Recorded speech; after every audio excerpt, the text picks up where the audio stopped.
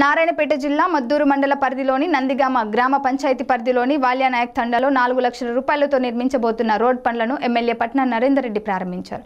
ఈ కార్యక్రమంలో స్థానిక సర్పంచ్ సత్యమ్మ ఎంపీటీసీ అనిత మరియు మాజీ జడ్పీటీసీ బాలాసింగ్ నాయక్ సర్పంచ్ల సంఘం జిల్లా అధ్యక్షుడు వీరారెడ్డి తదితరులు పాల్గొన్నారు.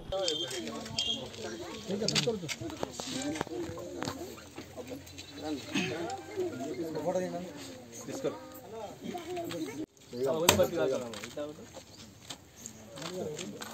근데 당신들.